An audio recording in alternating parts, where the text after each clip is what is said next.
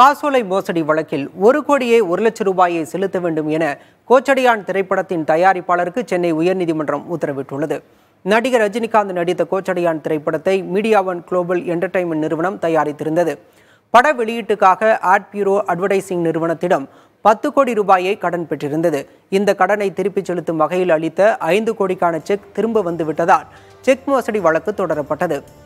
இதில் விசாரணை நீதிமன்றம் மீடியாவன் குளோபல் நிறுவனத்தின் முரளி மனோகருக்கு ஆறு மாத சிறை தண்டனை விதித்தது. மேலும் ஏழு கோடியே எழுபது லட்சம் ரூபாயை இழப்பீடாக வழங்கவும் உத்தரவிட்டது.